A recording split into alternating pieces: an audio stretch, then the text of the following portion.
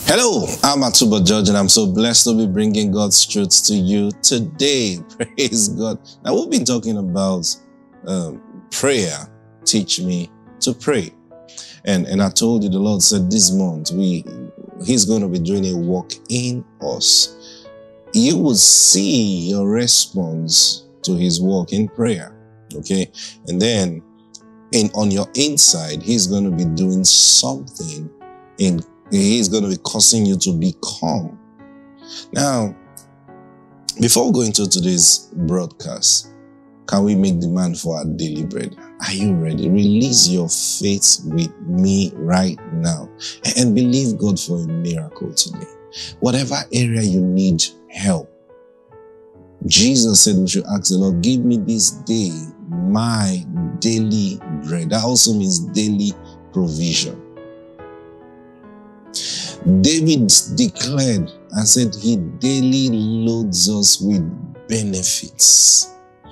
It's God's job to daily release to us his benefits for us.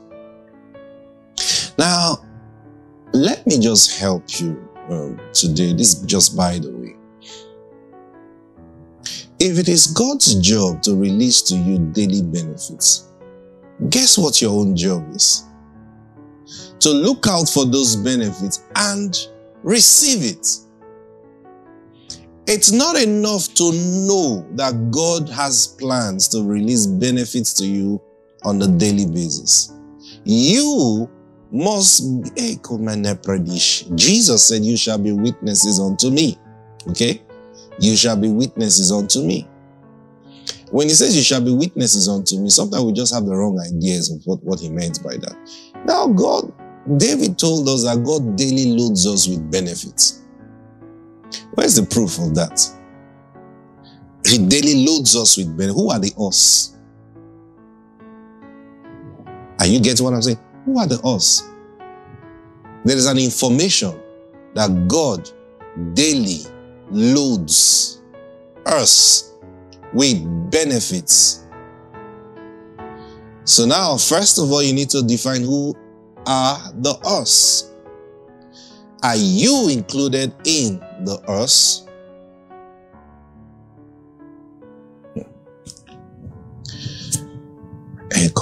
If you are a child of God, you are part of that us. You see, because I've said this many times, Jesus didn't come to preach a new message. His assignment was not to preach anything new. His assignment is to confirm what God has already said or what God is already doing. So you imagine David declaring to us that God daily loads us with benefit and Jesus comes how many thousands of years later and Jesus said, ask God for your daily bread. You see, uh, why why didn't Jesus call it benefit like David called it? See, that's the that's the foolishness in human reason.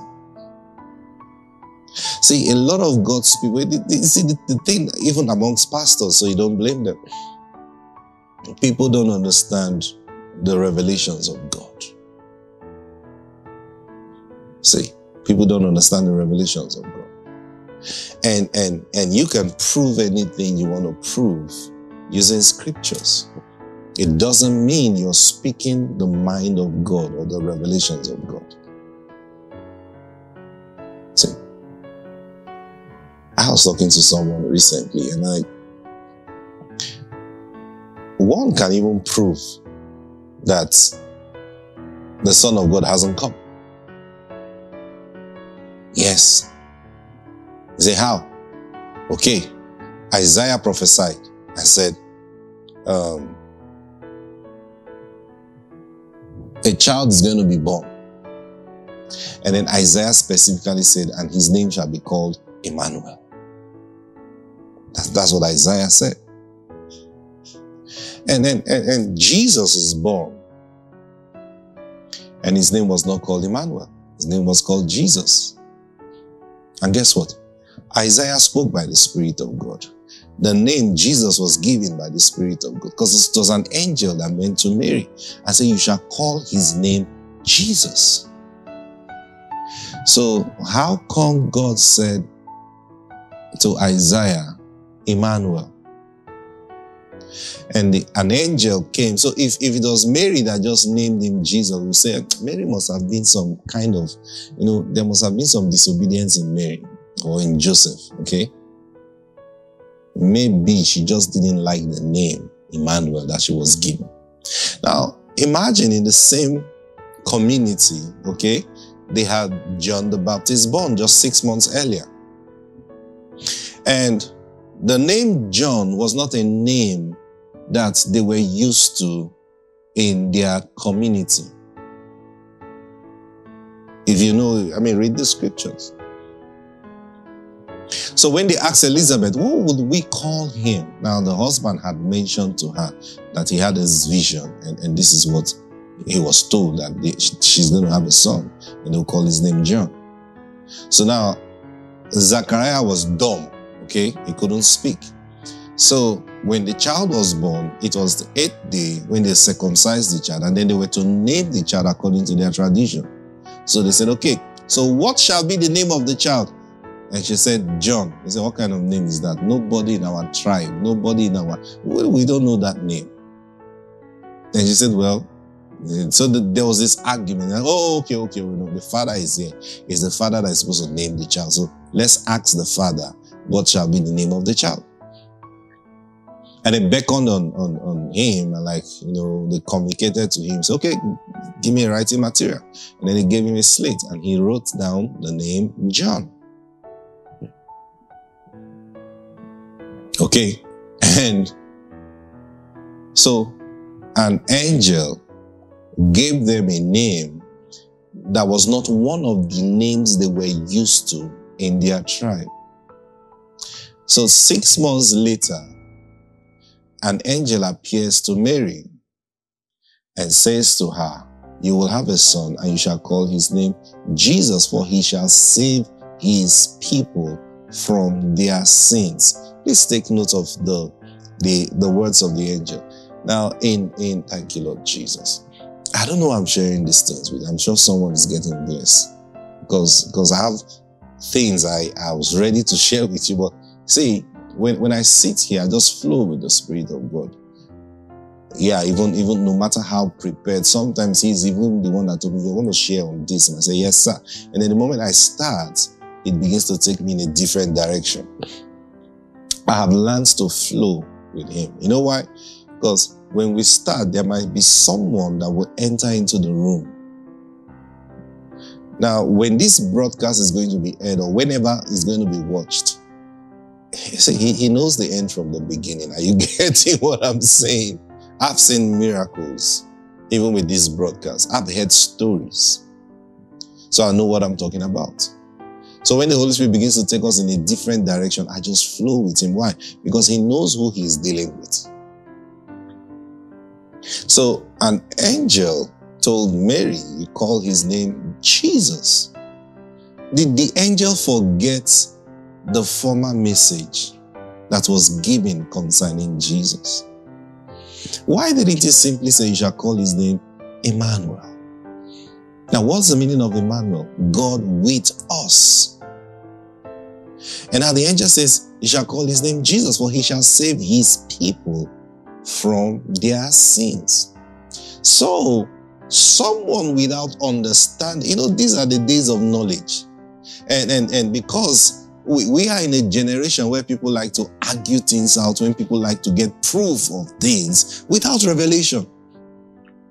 Because even when you're sharing the mind of, say, give me proof, show me from the scriptures. This is one of the reasons the Jews had a problem believing in Jesus because they were waiting for an Emmanuel. Okay. Now, if, if a virgin gave birth, now they heard that Mary was born, of, well, Jesus was born of a virgin. They heard it. But guess what their interpretation was? It was fornication. Because their interpretation, they couldn't believe. Now, the, the news went out, okay, that these people got married because Joseph had to quickly marry Mary. So, news went out. You know, these things can never hide. So news went out that Mary got pregnant before time. Because they were betrothed. Now, when we know what betrothed, being betrothed means, means the families have agreed that, hey, this is going to be your wife. This is going to be your husband. Okay? So they knew that they were, they were all children. From, from history, I read somewhere that Mary was about 12 years old at that time.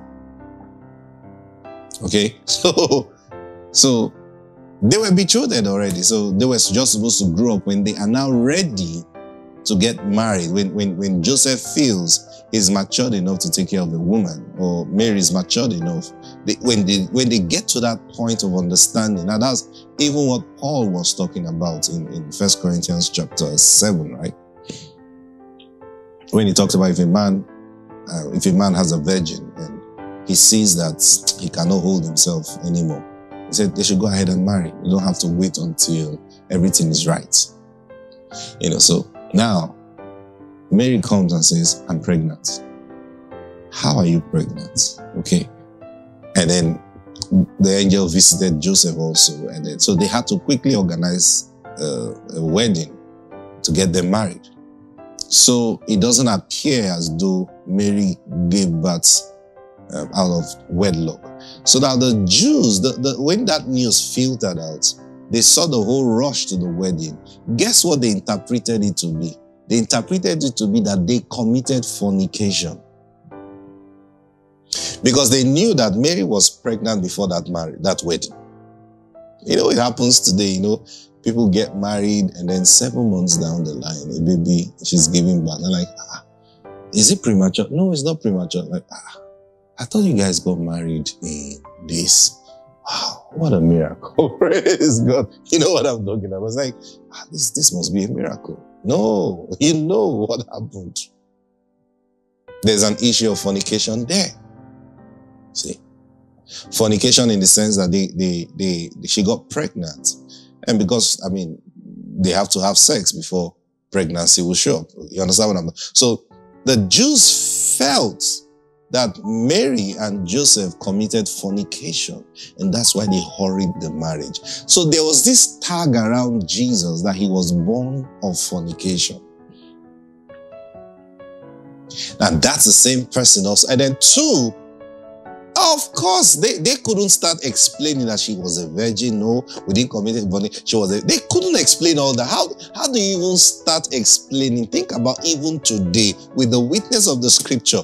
Even today, if a lady comes to you now and tell you, ah, Pastor, I don't know what's going on. I had a visitation last month and the Lord told me that I'm carrying a special seed in my womb. And I was like, okay, you know, trying to understand whether God wants me to do a business or, or there's, there's something he wants me to do, you know. But ah, I, I noticed I missed my period uh, last week. And I was wondering why. I waited, waited. Yesterday, I said, ah, let me just go do a test. And the test shows I'm pregnant. Even you as a pastor, you will be cracking your brain who, who, does this person think I am? that's, that's your first response. It will take layers, it will take a visitation from the Lord to you to accept, even though you know this sister. So imagine now trying to explain that to a whole community. So if that's why I tell people say when, when God's prophecy is being fulfilled, He will not tell you. He doesn't owe you to tell you except you are in tune with Him. See? So his name was not Emmanuel. They didn't really know, even though there was a prophecy that a virgin will give birth, but they didn't read that as a virgin giving birth. They saw that as fornication. They accused Jesus one time, said, We are the seed of Abraham. We were not born of fornication. No. They were accusing Jesus. They knew what they were doing, as in John chapter 8. They were attacking him directly. We know you. So they couldn't believe and accept that he is the Son of God, even though he was there. Now, now you see the same thing. You know, Jesus said, Ask God to give you your daily bread. And someone will be saying, if, if he was referring to the same thing with uh, David, he should have said uh, daily benefits. Huh. May God give you understanding. So Jesus just came to tell us what God is already sent, God is already doing. God, David said it as a fact about the person of God. He daily loads us with benefits. Now that benefit is not only money, it's not only meeting your physical needs. It also talks about your health. It talks about, that's, that's why I know you shouldn't die today. You shouldn't die today. See? Protection is involved. They are all your daily, daily benefits. He daily loads us with benefits. I said, you are part of the earth if you are a child of God. And Jesus said, now make a demand for it. That's why on this broadcast, every day on this broadcast, we, we say, Lord, we receive. Hallelujah. Why? First, I'm bringing it to your consciousness. That's what the Lord wants. I'm bringing it to your, you, you have daily benefits to receive from the Lord. Give us this day our daily bread. Now, bread there doesn't also mean the, the physical white flour mixture that you eat is beyond bread. And the physical bread is part of it, okay? you understand what I'm saying? But it also means every supply that you need. Kaya Badus. You should never, in the first place, even take the literal meaning first, you should never go hungry. You should never starve. You should never be in want. Oh, money for, for gas or petrol in your car, it, it, should be supplied to you. I, I, I, a few, sometime last week, you know, my wife and I we were, we were discussing because my wife told me that we, we need to buy um, rice. Now, truth is, for many years, I cannot remember us buying rice in our house. There are some things God have just taken out of your hands, you know. So, so, so my wife like, ah, the rice is almost finished. In fact, what we have left now, if we make it, uh, if we if we cook it, that will be all. You know, so I said, okay. Now, before then, a friend of mine, I'm sure he's even watching, a friend of mine have sent me, uh, a classmate of mine back in school, you know, have sent me uh, pictures like, oh, look, I'm, I'm, distributing this rice in case you need it. So I like, wow, okay, good, you know, and the price was good. Okay, so um, I spoke to my wife about it and like, look, oh, how much do they sell rice now? You know, let's let's compare. And she told me, I said, obviously this is good price. And then my wife was like, eh, but this brand, I'm not sure of this brand. Let's let's buy this brand. And the brand she was saying was more expensive. I'm like, look, this is my, you know, this is my guy. You understand? So if the brand is not good, he knows well not to sell me something that is bad. So we had that argument that day for like, you know, a day. And then we went, okay, um, let's leave it. I'm sure by tomorrow we'll decide. Guess what? The following day, our help, you know, came to me and like, oh, um, someone brought rice to the house. Like, rice to the house. Like, who? And I said, your neighbor brought rice to the house. Like, ah, what's going on? Praise God. Ah. I'm like, okay, so I had to call and say, ah, this is wonderful. Thank you. And like, oh, this is, this is how, this is what, it's like, wow. Now, I could You know, I tell people sometimes, angels listening to your conversation. We didn't pray. My wife and I didn't hold hands and say, let's ask God for it. We just had a little, not serious argument. We're just, we're just talking about brand. Which brand should we go for? Now, I was being let's patronize, you know, my friend. And then she was like, the brand, the brand. It's like, okay, you know what? I want us to patronize my friend. In fact, at some point, said, okay, hey, let's do the two. you understand? So if this one is not good, then we deal with this one. We just left it that way and, and trying to decide. By the next day, would have, of course, we needed to buy. We didn't pray.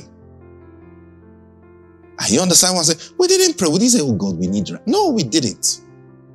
But you see that conversation, angels were listening. So look at these people. Uh, please, let's go and do, do our thing. And they found the nearest person. Give us this day our daily bread. Are you ready to pray now? I don't know why I shared all this with you, but I believe today God wants to reach out to you. Say with me, Father, I demand right now my daily bread. It's coming to me now. In Jesus' name, amen. Praise God. Thank you, Lord Jesus. Woo, glory. Receive a miracle today. In Jesus' name, amen. God bless you. I'll see you tomorrow. Wow, it took our whole time. Praise God. I'll see you tomorrow. Bye.